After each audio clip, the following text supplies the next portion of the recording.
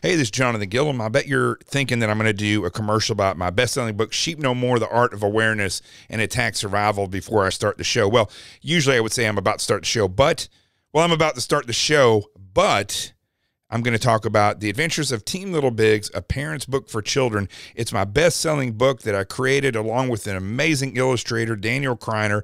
And what it's all about is I wrote a book of pictures. I came up with this idea to teach young children between the ages of two and eight and learning disabled children about safety, awareness, and communication at the youngest age possible. Now, the way the book works is that embedded in each picture is about five lessons, and it follows a day in the life of Team Little Bigs, which is Rico, Jesse, Bonnie Sue, and Meow Meow, all named after my dogs and cat. And so what you do is you give the book to the children. It's all pictures with these lessons embedded in them. And then you go to teamlittlebigs.com and you download the lesson plans or you just pull them up. They're right there along with other helpful stuff, some security tips. You can uh, join a mailing list. There's also pictures that you can download and the kids can actually print out on paper in color. The Adventures of Team Little Bigs, a parent's book for children, and its accompanying website, teamlittlebigs.com. The parents go there, get the lesson plans. The child gets the book. You go through it with them. There's even an instructional video on the website, along with a COVID 19 awareness video for your children as well. Go get it.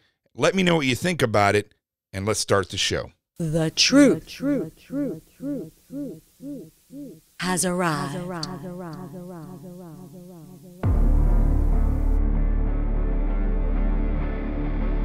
My name is Jonathan Gilliam, and this is The Experts.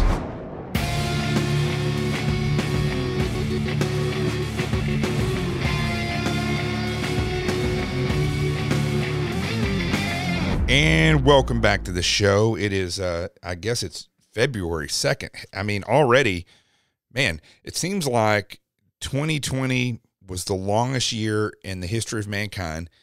And January was the long was the shortest month in the history of mankind. The the shortest and most the craziest month ever. January 2021. Now we're in February. I, I just I cannot wait to see what every day brings. I, I tell you something, it snowed harder than I think I've just about ever seen. I mean, I've seen some bad snowstorms, but it really came down. Still coming down right now in uh, in New York. I'm out on Long Island. But interestingly enough, this is the first time I've ever seen a snowstorm this bad, and there were absolutely no plows. There's just no plows. The only thing I can equate this to, okay, because Governor Cuomo just decided again, everybody just stay home, right? But he he goes ahead and takes a car down to Manhattan from Albany, I guess it was. So this is what you're seeing in New York again is another example of how uh, they just want to shut everybody down. They do not want people leaving their homes. They just I know it's in several different states around this uh, country, but New York is really the worst that I've seen as I've traveled all over this country. New York is the worst. They don't want you traveling. And it's so bad. They're they're so weirded out by this or, or not weirded out. They're they're they're flexing their power so much they just didn't they just didn't plow the roads. That's the only thing I can equate this to is that because the governor made this comment, they just didn't plow the roads. So it's been snowing for a day and a half. There's like 20 something inches of snow out there, and they just didn't plow the roads. Hmm. Now it is supposed to rain uh, later today, I believe, but I don't know how much that's going to get rid of. I don't know. I mean, and quite, you know, potentially that could turn into disastrous ice if the temperature doesn't go up enough. So again, listen, I, I know, I, and this is a great place to start in tonight's show. I know that people think when they they see the stuff that's written about me in the news, like uh, Mediaite, uh, no Media Matters, um, tried to make me look stupid. I'll play uh, the the interview that uh, that I did so you can hear exactly on Newsmax what was said. And they try to make me sound like I'm some kind of supporter of right wing extremists, whatever that is. Actually, it's there's really no true definition because it's not true. There's really not right wing activists in this nation. What you do see is uh, people on the right who uh, really do care about this nation and the Constitution. White supremacists are not uh, conservative. I don't know what they are.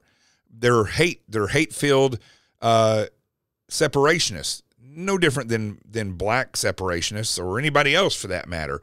Uh, they are not conservative, just like uh, Hitler was not a Christian, right? They always equate his, Hitler with being a, a, Christian somehow. The left loves to do that. But uh, the reality is that there's things going on and I know that people think that this is uh, just a another conservative guy on you know on a podcast because I've hosted for you know Sirius XM Patriot Channel. That's the conservative channel on on Sirius, or because I hosted for Sean Hannity on the radio, or because I used to be on Fox. They forget I was on CNN as well. But that, but I gotta be honest. I gotta tell you, this if you're if you're liberal and you're listening to this, you need to realize what's happening that just like the fact that these roads aren't cleared, and just like the fact that all this stuff that they've done, I don't know if you realize this, but all this these strict rules and and mandates that they have done in all these liberal states have actually killed more people than than conservative uh, locations. They have actually destroyed more businesses. They have actually spread the virus more than locations. Well, when I say spread the virus more, they've caused more death, right? Because reality is where we see the virus spreading naturally outside, people going and doing things, we don't see the numbers of death. The death numbers are just not there. The virus count is huge, or the hospitalizations may be up, but the death rate's not there. The death rate just in the months of March through May in New York City and many other uh, of these liberal ran uh, states around the country is astronomical. I don't know if you've seen this around the country. I hope you have because it's all over the place. But the numbers that were supposed to be reported about the deaths in these elderly uh, clinics or nursing homes there nothing there's nothing nursing or rehabilitating about these these uh, clinics around the country. They're uh, as evil as they get and as far from a medical facility as you could ever get. But the uh, the numbers in New York they say are double what was reported. And when confronted with this Cuomo's response was who cares? That was his response and it's all because of a mandate that he did. He put in effect in March of last year and then and then lifted it in May. And they're estimating uh, you know, 17,000 people dead that they know of. That doesn't even include the people who actually left uh, and came home and then within a couple days died because they caught COVID in the elderly clinics. They don't count those deaths as happening in the clinics. It doesn't count not even COVID, but elderly people who have died because they just gave up on life because they haven't been able to see their families for a year. Some of these people, or close to a year. So, when when I look at the reality of what's happening, and the reality of things like uh, the ex FBI lawyer who altered the email in Russia in the Russian case, excuse me, in the Russian case, got sentenced to probation now, I'm going to go over that story in just a second from the New York Times because there's some interesting things in there. And I think out of all the crap that I've read that comes from the New York Times, this one actually is pretty spot on. But the interesting thing is, actually, I'll tell you what. I think out of all the things that I've seen over the years from the New York Times, that this article that I'm about to read to you is short, which they don't typically do. They do long articles, and it is um, it's pretty just it's it's just reporting what occurred. I, and I thought that was actually halfway decent. Now I don't I don't suggest you go out and subscribe to the New York Times, but I don't know uh, how this got in there and this unusual because the New York Times is always skewed. But what's interesting is uh, some of the things that I've seen it just in the past month, or actually since the twentieth, really, uh, since um, Biden, I forgot his name there for a minute. He's very forgetful. Biden uh, became the president. And one thing that I've seen is that the news is uh, much less inflammatory now. You know, I'm not saying they're reporting the truth, but it's just not. Uh, it's not like uh, tremendously in your face like it was before. Maybe it's just because I don't really watch the news to begin with. I, I watch Newsmax and I'm on Newsmax quite a bit, so I'm kind of you know as far as that goes involved uh, w- with the news, and that's what I watch. But by and large, I don't even watch the news. I look at the headlines, and that's about it. Uh, you know, you know my philosophy on that. Uh, the story is always behind the headlines. There's another story back there if you look at enough of the news. But it's it's as if the that hype that was in the news. I don't, I don't say it, I don't think it went away. I, maybe it's just because people don't care anymore, but it just doesn't. You can't feel it. It's not in the atmosphere anymore. It just doesn't feel the same. Uh, because they were, it was almost as if a demon was in uh, the nation and it eased up a little bit right after uh, because they got what they wanted. So it's eased up a little bit in the rhetoric. Now, I, I mean, who knows? But there's something definitely has changed in the atmosphere uh, to where things things are still occurring, like not plowing for the snowstorm, but the tension's not there that was there before. I, I don't know. Tell me if you feel the same way. You reach me on uh, Twitter, J Gilliam underscore seal, and on Facebook. I'm not on Instagram anymore. They deleted my account. Uh, at Jonathan T. Gilliam on Facebook. I'm also on YouTube where I do put this uh, podcast up. And most importantly, if you haven't joined ConnectZing, join ConnectZing, connectzing.com. And it's similar to Facebook, but better because you can put what you want on there and not have to worry about being censored. Uh, and so I'm a big part of that, along with my buddy Drago, and I've talked about that before. Uh, go check that out. And Drago's wife, uh, Rachel, who's an Air Force Academy grad. Of course, Drago was a Navy SEAL who grew up in Poland and spent three years in a Polish gulag, that's a socialist prison, for having a typewriter. And uh, we've all come together, and Drago created this incredible uh, website called Connect ConnectZing, and then we've developed this into something that's it's coming soon. But it, I'll just put it this way: it's an ecosystem, right? It's an ecosystem, a social media ecosystem that's coming soon.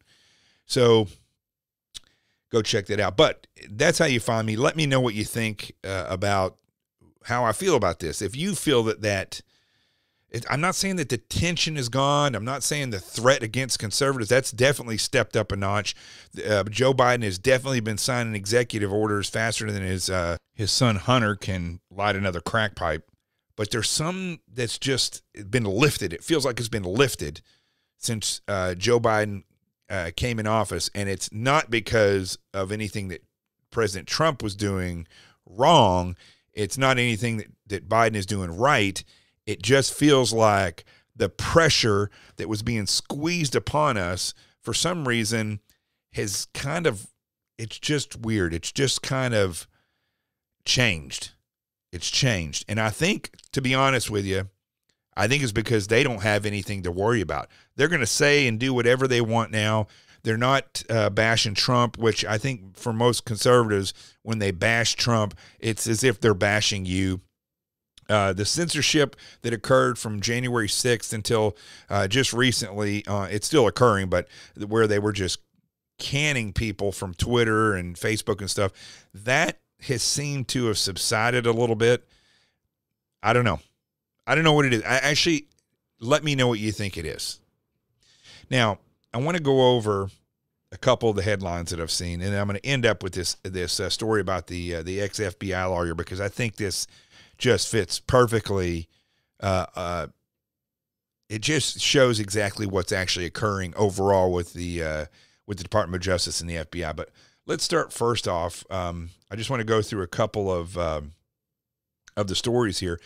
And I did a previous podcast about the reality of the Republican establishment and many of the people who, you know, worked for Reagan, for instance.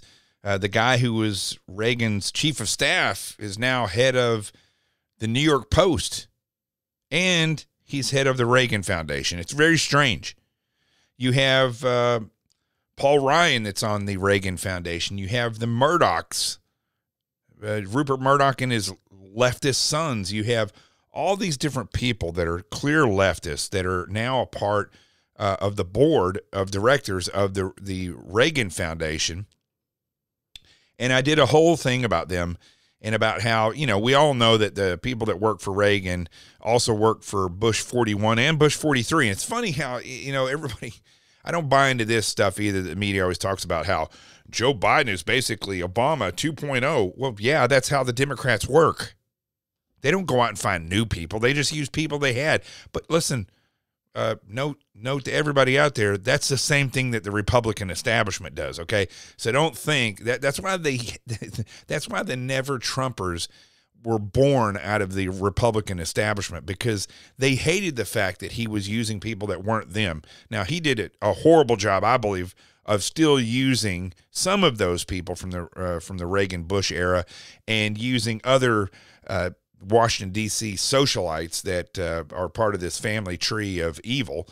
He did it. I think Trump did an awful job of appointments, and uh, and it's come back. It came back to him because there was nobody there to support him or help him out.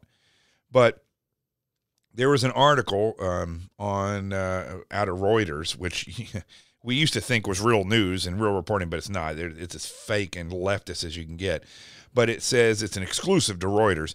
Dozens of former Bush officials leave Republican Party, calling it a Trump cult.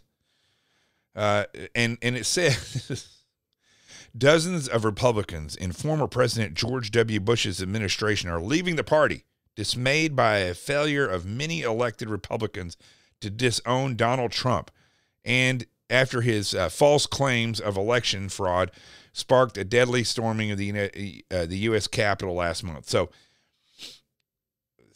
this sounds exactly like people from the Lincoln Project who are also uh, as left as they can get. They're just establishment. They're just uh, they don't care about the country. Uh, like Kellyanne Conway's husband, what a weirdo that guy.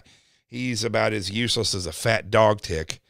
And so what you see in this story is exactly what I was just explaining is that these people that worked for the for George Bush 41, George Bush 43 and all the way back to Reagan are all political wonks that one know nothing about leadership of the country. Yeah, they were in these positions, but the country didn't do any better under them. And two, uh, they are dedicated uh, to the advancement of their agendas, not what's best for the country. That's why when we look back at the, the Reagan era and before of the uh, Republican and Democrat relationships, how they everybody's like it was different back then. You know, they got along and they were friends, but they they worked things out and they, they you know compromised. That's because they were all a lot of them were leftists or they were just politicians and they moved at a different speed. The leftists moved at a slower speed. They got us to where we are now. Their evil grew. Evil evil doesn't have to go fast. Evil can go very slow. Um, and that's the, and then the change ultimately will happen very quickly once they get enough people in power, which is kind of where we are now. But this story um, basically names a bunch of these people and how they they went on and call calling conservatives, true conservatives, true constitutionalists, uh, a Trump cult. And the reality is, the reason that Trump was elected wasn't because of Trump. He was elected because of us, because enough people saw that that guy was saying what we thought, and they and we elected him. Both times, second time didn't stick too well, as we see. So it goes. There's another story that goes right along with that, and this one, this guy drives me crazy. He's been driving me crazy forever. And I can just imagine what a, a total freaking jerk this guy is in real life. Uh, Representative Adam Kinzinger. I know some people who uh, donated to his uh, campaign years ago, and then when it came time for them to run, he did not return the favor. It's just the kind of guy he is. He is a media whore who loves to be on CNN, and I guess now Fox has him on quite a bit. He's on television way too much. Okay. And that's the first thing that, that kind of sparked me about watching this guy. But he says that, uh, that the Republican Party, he's a Republican now. Okay. He says that we traffic in lies and that uh, he wants to take our party back. Right. And again, he goes right along with the, with the rest of these Republicans and saying that uh, this is his quote the biggest danger right now is that we've become a party uh, that dabbles, not just dabbles, we traffic in conspiracy and we traffic in lies. That's uh, Illinois uh, Representative Adam Kinzinger, right? And this guy is the most worthless piece of crap in the Republican Party next to Mitt Romney. He's absolutely worthless. And his the quote that I just read you is so similar to what Nancy Pelosi says, but with just some words changed that it's it's absolutely sickening. But listen, this is what these people do. Remember, I told you this a long time ago. I, you can watch all the documentaries you want about Hitler, and, and in fact, I, there's a reason why they're on Netflix um, because I, sometimes I think it's subconscious to criminals and evil people to put things out there where they can blame other people for stuff when they're they're it resembles them more than anything. And when you when you look at Hitler, don't just look at him, right? When you watch these documentaries, watch the people around him. Many of those people just jumped on the bandwagon with that guy as quickly as they could, not because they believed in him, but because of the position it offered them and the power that it offered them. Representatives like Kinzinger, that's what they do. Now that the left is in office, they're going to own our government. They own our government. Don't even think that they don't. They own it now. And he will jump right on the bandwagon and make it sound as though we are the problem. That's what kind of weirdo this guy is. He doesn't he doesn't stand there and stand up to the left. He jumps on their bandwagon accusing us of being the bad guy, of being a cult, of being uh, people who uh, traffic lies. So he goes on to say, It's now or never. The choice is ours. I've made mine, and I hope every Republican and every American who shares our values will choose to join me. Let's take our party back. Well, first of all, turd, Ferguson, nobody's joining you. Okay. You're an idiot and I hope somebody primaries you and gets you out of wherever you are. In fact, that should become a major focus is to primary this guy. Uh, let's listen to him here for a second. I think they have a video of him here.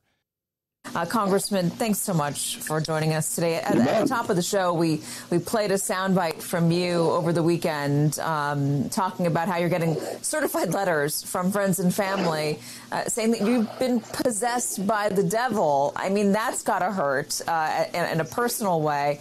There's also a number of your colleagues, mostly Democrats, saying, and some Republicans, saying that they've been receiving death threats. They feel like their lives are in danger um, from those who vehemently support Donald Trump and think that the election was stolen. Are you getting that same amount of vitriol in that way as well?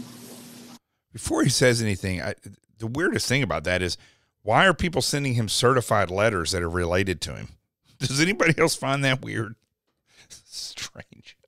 You do, and it's hard to tell. You know, is that oh man, the majority of people feel that way, don't they? Because again, you know, if somebody's happy with you or agrees, they're not really seeking out to send those kinds of messages. But all that does to me is it really doubles down the importance of, of the mission of kind of restoring people's faith uh, in the institution of government and, and in, being optimistic about the future of their country because we have peddled for too long in just darkness and division and it's just created an untenable situation like we've all seen. That made no sense whatsoever. But let's see what he follows it up with. You've said that Republicans are in need of an intervention. What exactly do you mean by that? Well, I mean, look at it. You know, we can, uh, we, we just have to look at where the Republican Party has come from. You know, the party that freed the slaves, the party that fought for women's suffrage, the party that took down communism, and, and had really a clear eyed view of uh, the future of the country and what conservatism could do about giving opportunity to a kid born in the. Sounds like somebody's trying to get out of the closet he has them locked in, doesn't it? What the heck is that? city, same as a kid born in the suburbs. The problem is lately, all we've been talking about is darkness and division, and you know, trying to appeal more to the Proud Boys than to the uh, suburban moms, and, and and that's a big problem. Not just because of the health of the party. I mean, the health of the party, in my mind, is secondary to the health of the country, because the health of the country has suffered. We need two solid, functional parties to have real debates. I, I, can't even hardly listen to any more of this. First of all, whatever he's doing under there, uh, tapping on that. I mean, I don't even want the camera to pan down because I get visions of Jeffrey Toobin in my head with this weirdo. But and who knows? These people are weird. I'm telling you, a lot of these people in politics are strange. That's why they're that's why they're so focused on this power, right? Because it's a drug for them. They're weirdos. He looks like a weirdo. He sounds like a weirdo. He sounds like a leftist. He doesn't sound like a conservative at all. He's he, he's jumping every single uh, catchphrase and lie that the left stream media puts out. He is repeating in everything he says, whether it's about the Proud Boys or anything else that he's saying. Um, all the hatred and stuff that he's talking about was created by the left, wasn't created by the right. If that's not enough to make you uh, want to get rid of this guy, then I can't say anything else. Complete weirdo. All right. Uh, let's see. What are we looking at here? Okay. let's just. I mean, these headlines are incredible. I'm going to skip over. I'm going to save these two for the last. The story of the FBI and this other one that's kind of a surprise here. But AOC, right? First of all, let me just preface this, okay? Sexual assault is nothing to laugh about. Okay. It happens. I mean, throughout history, it's happened too much. Even in a civilized society, it happens a lot. And it's nothing to be joked about. It's also nothing to be used as an excuse. Just like saying that a person has that a person goes out and says that they have cancer to raise money is just as bad as somebody saying they were sexually assaulted uh, in order to uh, get attention to what they're saying about something else. I I and that's what I see in this story. It says AOC says she she's a survivor of sexual assault. And then in the small, this is on foxnews.com, in the small uh, subtitle says she was talking about fears during the riot at the Capitol. This is the most confusingly written story I've ever seen. Let me see who wrote this. Edmund DeMarche. Uh, the story barely mentions what she said about being a sexual assault victim. It, I mean, barely mentions it. In fact, it doesn't really specify what she said actually, and uh, but it does point out that she was speaking to about a hundred thousand viewers on on Instagram Live. That's what it was. Okay, now I see it, and she was speaking to about a hundred thousand people and she said that she was getting emotional over uh, calls to move on from the incident that happened on Capitol Hill on January 6th. She said that that is the same tactic employed by abusers. Okay. She, as far as I could tell right now, she hadn't said anything about herself specifically going through something. But she said uh, the New York Post said that uh, she opened up on how she took cover in her office and overheard someone say, Where is she? uh, where is she? And then uh, she said that she thought she was going to die, and she's never been uh, quieter in her life. Although that turned out to be Capitol police officer, and she was still scared. Okay, whatever. Um, I still don't see the connection here as I'm reading through this, unless there's more to the story that they didn't include in the story. But why wouldn't they include that in here if with that kind of a headline? It goes on to talk about the fences around the Capitol building. It talks about how Republicans have condemned the riot and some accused um, the Democrats of attempting to do their best to use the riot for political gain. Okay. I'm still waiting in this story for her to say that she was sexually assaulted. Then it says that Ocasio Cortez uh, accused Senator Ted Cruz of trying to get her killed. It's weird. We know about that. And then Chip Roy of Texas had something to say about Nancy uh, or that Nancy Pelosi should get AOC to apologize or they'll be forced to find an alternative means to condemn her. And then it says here in the, the last paragraph, Ocasio Cortez told her followers that she has not told many people about the assault, but the trauma has a way of compounding itself. Nowhere in this story is there anything about her saying, there's no quote of her saying that she was ever assaulted sexually. Again, at the top of the story, the very first paragraph says that she revealed Monday that she is a survivor of sexual assault while she was talking to followers on live on Instagram. But it doesn't say anywhere in this story if it actually happened. I, I don't know. I, I, but anyway, regardless, the the reason that I that I even brought this up wasn't because the story was written so crappy. It's because one of the things that you're seeing is that the left will use other issues like white supremacy uh, or any any other type of thing that they can bring up to to get you to listen to them and then they'll throw other things in or they'll equate it to that. Like her equating what's happening or what happened on January 6th to a sexual assault.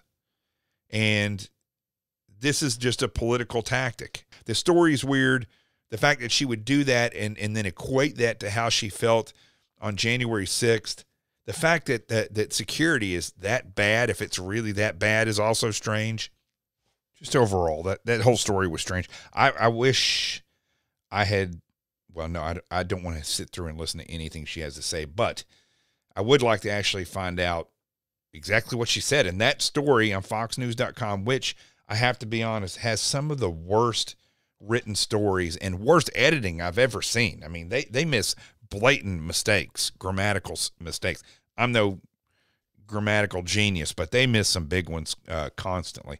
Now, I wanted to, I just want to push on real quick because there's another example of how Democrats and overall establishment politicians get things wrong. Okay. And how it's not getting any better now. It's not going to get any better now that all this uh, has occurred. In Oregon, and this comes from USA Today, where it's you know they're just such incredible journalists over there. Laugh, laugh. Okay, so Oregon law to decriminalize all drugs goes into effect, offering addicts rehab instead of prison. That's the headline. And now this one I'm going to go through a little bit because it's very interesting. For Janine, and I'm going to try to say this last name, Gullickson, I believe that's right.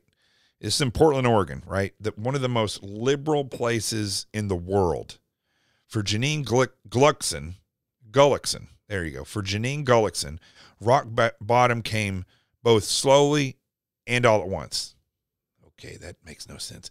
A longtime drug and alcohol addict, Gullickson pushes back on the idea that one terrible day on the street leads to an epiphany and a climb back to normalcy.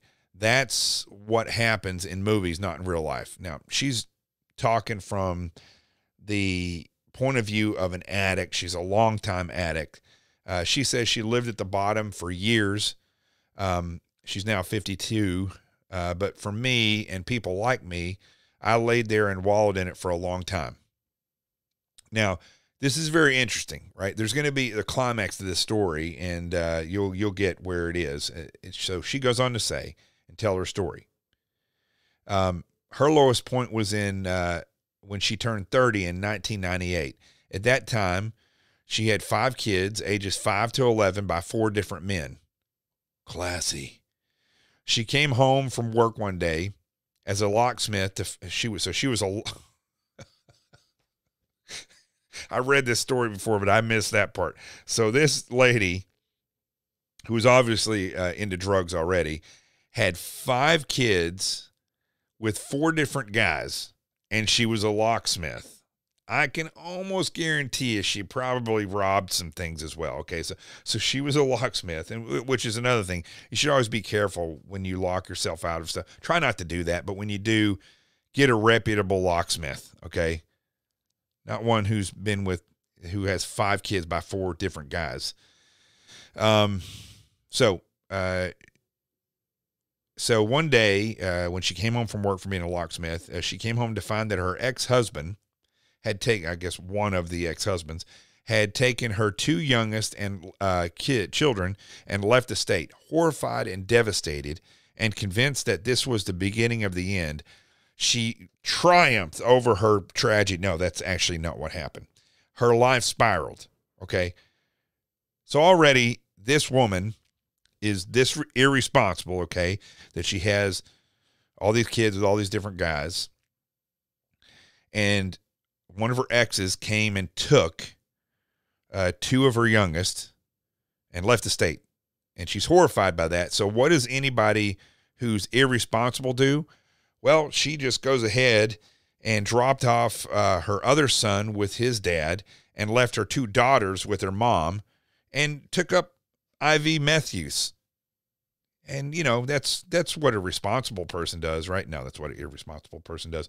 Then she was in prison six years later, and contemplating joining uh, an intensive recovery program when a, and this is her words, a striking, magnetic, gorgeous black woman walked in the room and held up a mugshot, and uh, I guess it was her mugshot, and started talking about being in the very chairs where we were.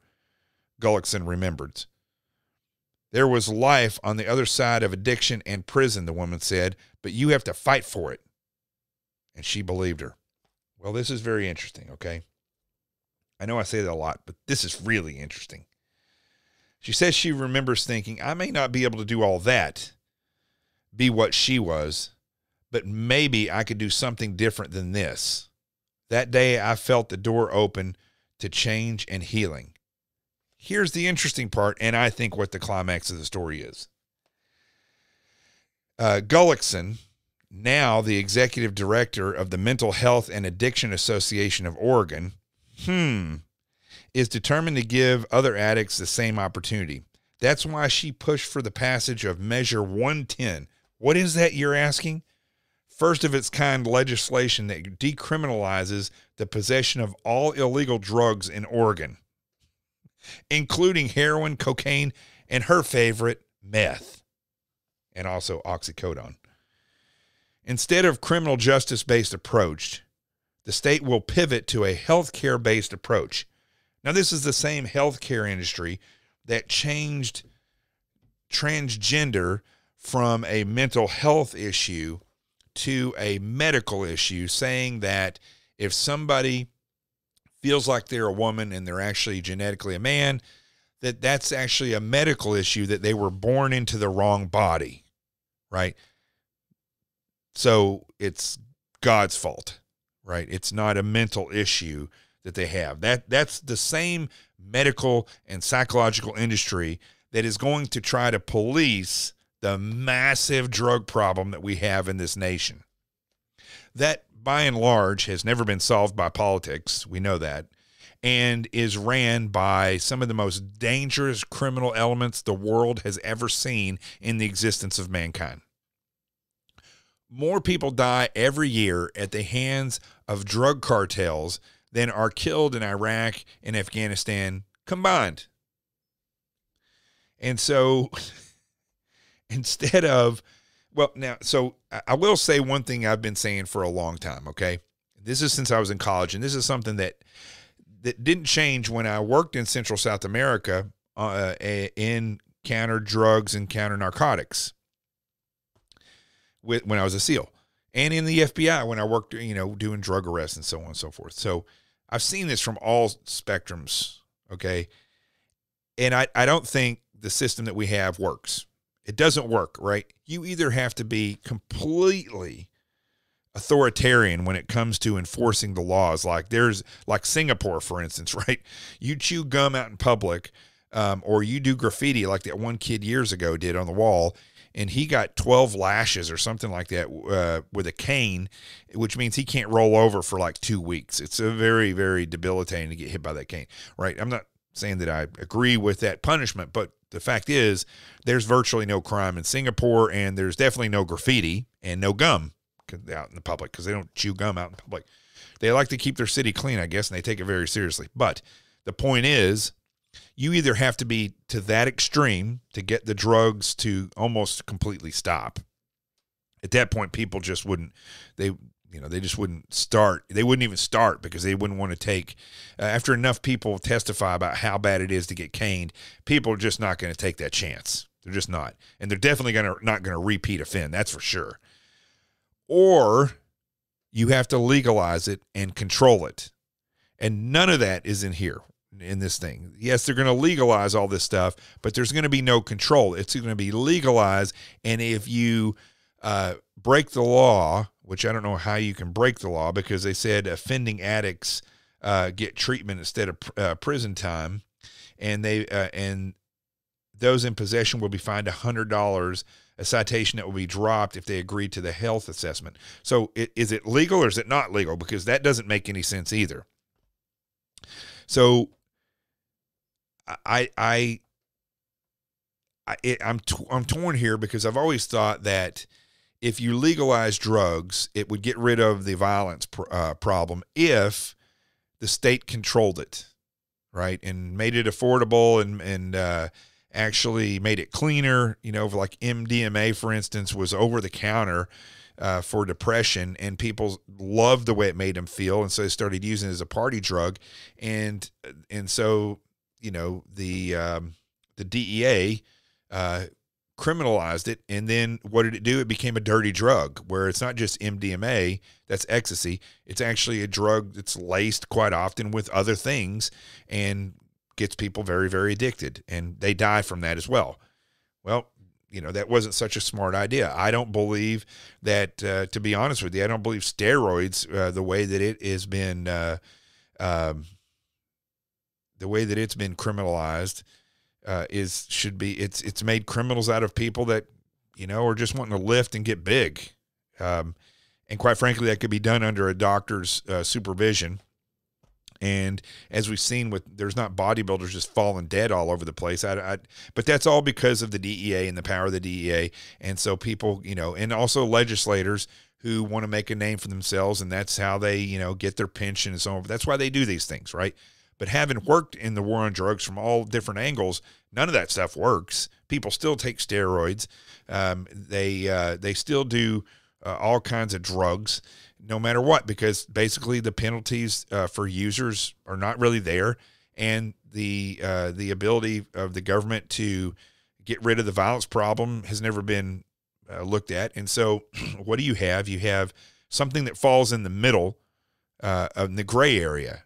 Nobody gets punished enough, and uh, there and there's no uh, assistance by the the government to get rid of the crime and to rehabilitate people. I mean, to be honest with you, people need to be want to be rehabilitated anyway, and they're just not going to do that unless you cause them pain or you give them an incentive. It's just not going to happen. Uh, something like crack cocaine or heroin um, or meth is so addictive that people will destroy their lives over it.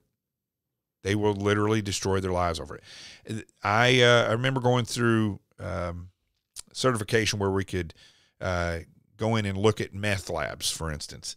And I remember this one video that we watched and one person saying something that really stood out. It was he was a recovered meth addict, but he said there is no such thing as a recovered meth addict. He said every day he gets up, he thinks about meth every single day.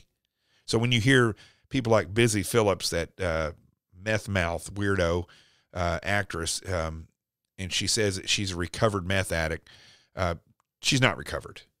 It's always on her brain. Above everything else, meth is on their brain. So th- these drug laws, while some people say, well, it's an attempt, the reality is it's it's no different than anything else. It's going to fail. It's going to cause massive violence and drug uh, trafficking issues for all the surrounding states. We've seen it already with marijuana. You think that was bad? It's going to get way worse, and nobody's going to get better if it's available, why would an addict who's this addicted to something that makes them feel this good but also destroys them, why would they ever seek any type of counseling if it's legal to take it? It's not going to happen. So, I mean, the, the greatest thing they could do is uh, for the government to uh, take over uh, and then produce things that are less addictive with less potency and then try to wing people off that way. I don't know. This is a very difficult thing and it's up for discussion, but I, one thing I know is what they're doing in Oregon, it will not work. And one of the reasons is because people who push for it are meth addicts like this weirdo who who is also uh, a uh, I guess a counselor now. I don't know exactly what she is. Uh, executive director of Mental Health and Addiction Association. She's probably got something behind her name for something besides uh, locksmith. Sad state of affairs uh, where we're at in this country when it comes to fixing problems. They don't fix problems. They just make that crap worse. Wow. Okay, the last story I want to cover real quick. Let me see how, how long are we into this? 45 minutes in. Okay, let me let me just cover this real quick. Uh, ex FBI lawyer who altered email in Russia case is sentenced to probation. All right, everything I've talked about already during this podcast is really about the sad state of affairs of politics and uh, the just the whole mindset of of left and right and the lies that people use to further their political agendas and these idiots like uh, Kinzinger who says he's a Republican or a conservative and he's not he's just a, another uh, liar up in Washington D.C. But this really really does show you the reality of what I call the family tree of Washington D.C. and the family tree of politics, which is it's not the swamp. Okay, I keep telling you it's not a swamp; it's a tree and I've said this over and over again. Envision a big giant tree. If you've ever seen one knocked down by the wind, it uproots half the lawn because of the roots that it has. Just rips up the whole yard, and and it's like uh, or an iceberg. An iceberg is another way, but tree is a better uh, symbolism. But an iceberg is, you know, you see the the top of it sticking out of the water, but the bottom may be five to ten times larger than what's sticking out of the water. Same thing with a submarine. You see the little top of the submarine, and the thing is 600 feet long underwater. But a tree is a good way to look at this. So, and you're going to see examples of this family tree. Okay, there's going to be something as I read through this story, you're going to see something pop out. Hopefully, I'll, I'll go ahead and mention it to you when it pops out. But you're going to see that there's something in here that gives the perfect example of the deep state. Okay, and again, this was written by the New York Times but it's actually a really uh, well done article, short to the point, and uh, really just lays it out there. Okay. A judge rebuffed a, a, request by prosecutors to impose a prison sentence on Kevin Clinesmith, who was the FBI lawyer who admitted doctoring an email used to help authorize a wiretap on a former Trump campaign aide. It goes on to say, let me pull this back up here. It goes on to say, a former FBI lawyer who has admitted doctoring an email during preparation to seek renewed court permission to wiretap a former Trump campaign aide during the Russian investigation was sentenced on Friday to one year of probation and 400 hours of community service, but no prison time. Here's here's the first part of this that I want you to to realize, especially all the Q people out there. Okay, stop with the Q. It's not real. Prosecutors led by John Durham, the special counsel scrutinizing the government's actions in the Russia investigation, he was the one handling this, had asked the judge overseeing the high profile case against the uh, former FBI lawyer Kevin Clinesmith to impose how much was it there? Oh, Savior John Durham, to impose several months of prison time. Something that would get uh, you know, an FBI, a regular FBI agent put in jail for years, years, especially if it was connected to trying to overthrow an election and a duly elected president, which they don't they don't mention anywhere ever. But the judge, James E. Uh, Boasberg of the Federal District Court of the District of Columbia, said the destruction of Mr. Clinesmith's career and being vilified in a media hurricane had already provided significant punishment and sent a deterrent message. Okay, let's just stop right there for a minute. That's what this weirdo judge said, okay? If that was the case, then the, then the Democrats have no standing to try to bring anything against the president, and no court in the United States has any standing in trying to when somebody does something wrong, if they've been vilified in the media and if their career's been ruined, well, heck, we just let them go from now on. There's no reason to do anything. You combine this mindset with what's happening out in Oregon, for instance, that's also ran by the Democrats. There, there would be no reason to ever put anybody in jail ever again, which would mean that crime and violence would go completely out of control because it would be chaos. It'd be like Lord of the Flies if you've ever read that book. All right. He goes on to say, this weirdo judge, anybody who has watched what Mr. Clinesmith has suffered is not someone who will readily act in that fashion. Hmm. I don't really even I, I, have to read this guy, this attorney's name. I, I don't watch him. He did something wrong. He got charged with it. He should pay.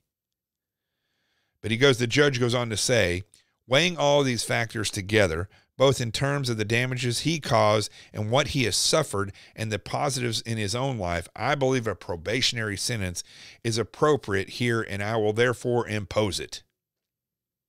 Now, the surveillance, this story goes on to say, the surveillance of former aide Carter Page in 2016 and 17 was a minor part of the overall Russian investigation but it has become a political flashpoint because of the Justice Department's Inspector General, who uncovered numerous errors and omissions in its court in its four court applications, flaws that President Donald J. Trump and his allies used as fodder in portraying the Russia inquiry as a plot by the so-called deep state. Okay, here's the part where I don't agree with this story.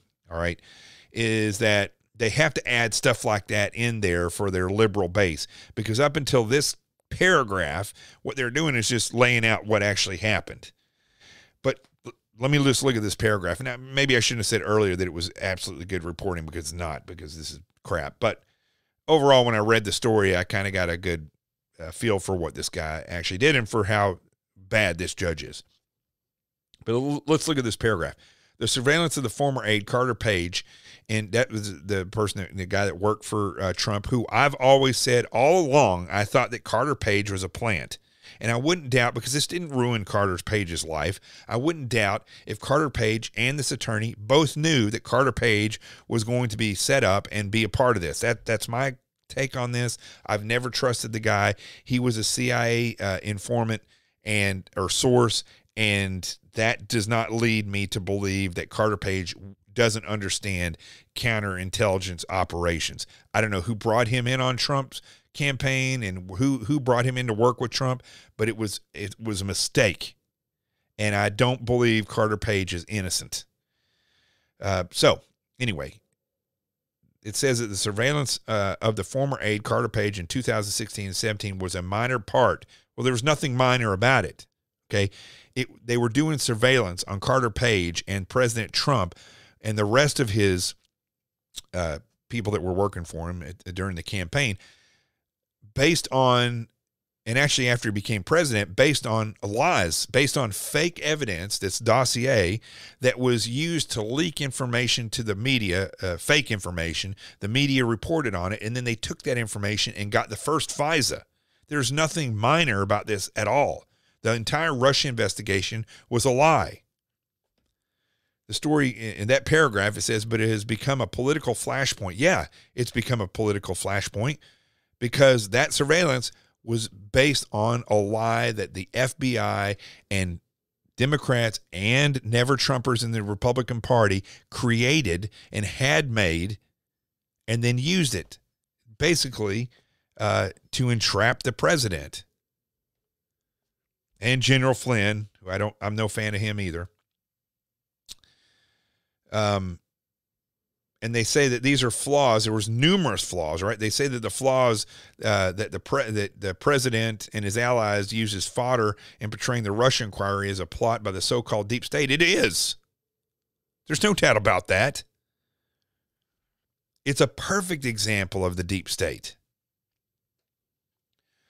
All right, set that paragraph to the side. Uh, Mr. Clinesmith's misdeed was the most egregious of the problems uncovered by the inspector general. In June 2017, as the FBI was preparing to seek the final renewal, and, and by the way, it, that wasn't the most uh, egregious problem. There were many different problems, okay? But in June 2017, as the FBI was preparing to seek the final renewal of the order, an FBI official who was going to sign a sworn uh, description of the facts asked Mr. Clinesmith to seek clarity from the CIA about whether Mr. Page was a source for the agency, as he had claimed. In fact, Mr. Page had spoken to the CIA in the past about his in, in interactions with Russian intelligence agents. A matter of fact that all four wiretap applications admitted they omitted this that Carter Page had already told the CIA that he had had these interactions. That's why they used him. And that might have made him look less suspicious had the court been told about it. But Mr. Clinesmith inserted the words, quote, and not a source, end quote, into the CIA email and showed it to his colleagues, a colleague who satisfied, which satisfied him and prevented the problem from coming to light internally.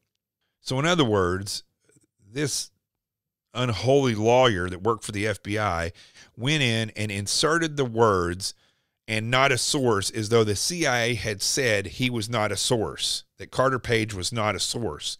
And so when you look at it, when you look at, at what he had said about his interactions with Russian intelligence agents, then it, it makes him, without the fact that he was saying that, that it was known that he worked for the CIA, then it makes him look like he's up to something. And so they they allowed the uh, the furtherance of this or the re up of this FISA, which is a uh, a, a, wiretap um, on the uh, the Trump campaign and his uh, after he became president. Now, the inspector general referred Mr. Clinesmith for a criminal investigation, and the matter was assigned to Mr. Durham, who is a bar plant. Okay, there's Bill Barr and there's Durham. Remember, all these people, they're all part of the deep state or the family tree. And as I've said before, they may not be leftist, but they're they are careerists, all of them, and they're not going to crucify each other. Okay, so you can't trust Durham just like you couldn't trust Barr. Uh, let me skip down here. It just talks about Barr and uh, and him and, and uh, Durham. Um, the Clinesmith case is the only criminal prosecution Mr. Durham's team brought. You see, that's the only case that they brought. There was no secret plan, by the way. There was no like Barr and Durham and the president. There was nothing being worked out. Okay. Out of all the things that they did, all the lies, the entrapment, all these things, that is the only criminal prosecution, and the guy got probation. When Mr. Clinesmith pleaded guilty last year to making a false statement, he acknowledged that he had intentionally altered the email and created a false record. But he also claimed that he did it not intentionally misleading or to mis- to intentionally mislead his colleague because at the time he believed the words he inserted were accurate. This is what he tells the court. He had separately told his colleague by text that Mr. Page was not a CIA source, but rather a subsource of someone else who had talked to the agency.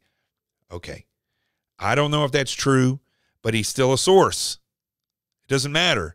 And that's not true because we know that's not true because he actually was uh, was handled by the CIA. We know that. In arguing for prison time on Friday, prosecutors suggested that Mr. Clinesmith's explanation made no sense and that he must also have known he was misleading his colleagues, pointing to evidence that he wanted to avoid the FBI having to explain to the court it had admitted that fact of Mr. Page's help to the CIA from all the applications. See, they they just admitted that, omitted it from all of the applications that the CIA or that they were using to that the FBI was using to get uh, these FISAs, these wiretaps. Uh, but Judge Boasberg, Boasberg said that based on on the record, he believed Mr. Clinesmith's version. So this judge, right? Instead of instead of looking at the whole the whole uh, totality of the of the evidence, he just took Mr. Clinesmith's version, thinking that it was a mistake, that he had made a mistake, and that, well, at least that's what he's making it sound like, that the judge himself thought that Mr. Clinesmith had just made a mistake, right? It was an egregious mistake, that Mr. Clinesmith thought that Carter Page was a subsource, which is still a source, and that so that that's why he added that in there. Now, here's the thing. All right, as my instructors used to do when in officer candidate school or in BUD/S or just in the military in general when they wanted you to know that something was going to be on the test and they would stomp their foot on the ground right so just imagine me going boom boom boom that's my foot on the ground when i said that there was going to be the perfect example of the deep state all right the deep state listen to this i wish i had a drum roll judge Boasberg is also the chief judge of the Foreign Intelligence Surveillance Court. That's the FISA court, which handled the dispute disputed wiretaps of Mr. Page. Although he did not personally sign off on any of them, he was still head over it. After disclosure, Judge Boasberg offered the FBI to review all wiretaps uh, Mr. Clinesmith had been involved with and the Bureau adopted more stringent rules for its national security wiretap application. Now, let me just tell you, folks, it doesn't matter what uh, rules they have. As we can, as we see, you can break those rules, and there's if you're in the right political frame of mind with the right people, there's going to be little to no punishment. And this judge who says that he believes see this is where this stuff starts to unfold in my brain and i see this picture okay this judge who was head over the fisa court when the fake dossier came in when all the applications that were written uh, based on that fake dossier and information that was leaked from that fake dossier to the media who is the echo chamber for the democrat party and leftists reported this stuff. They used that as evidence in the FISA applications, along with the fake dossier, to get these uh, surveillances over Trump and the people who work for him. And they did that while Judge Boasberg was head of the FISA court.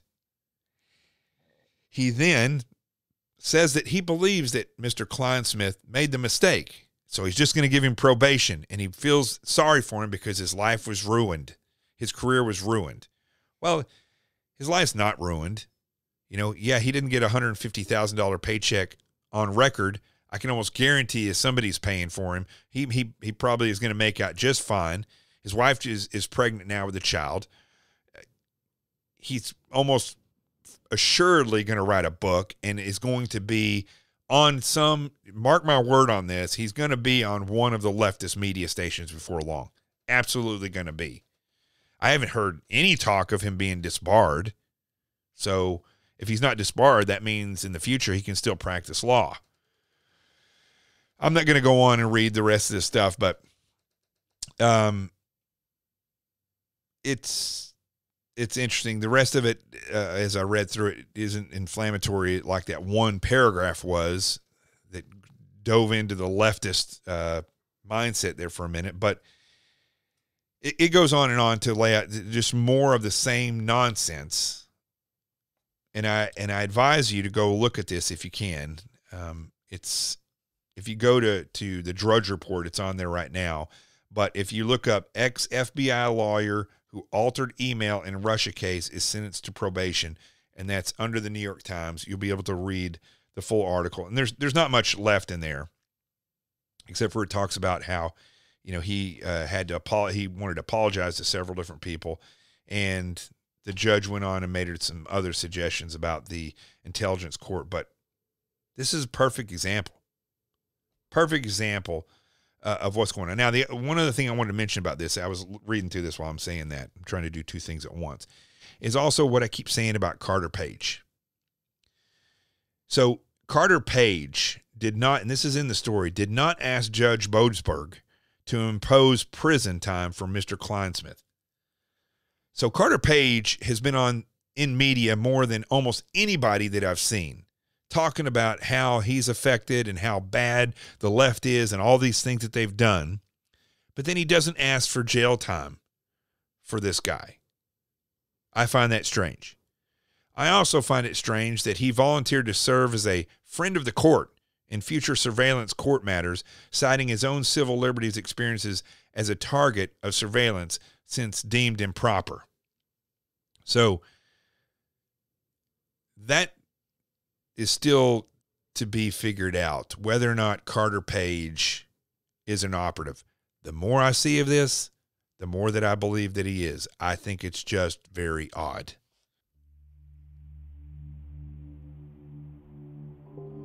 You know, as I've said many times on this podcast and on this episode, that what exists in Washington, D.C. isn't a swamp. It's not really even a, a, deep state. What it is is a family tree. And what we misconstrue as a deep state is actually the root system of that family, that evil family tree. Now, that family tree is made up of leftists and it's made up of careerists. The careerists may be left or they may not be left, but they are definitely all about their career. And what is the biggest national security of this nation, which I've been saying for years, is the family tree that exists in Washington, D.C. That's the truth. I'm Jonathan Gilliam. This is The Experts. The truth has arrived. Peace, and I'm out here.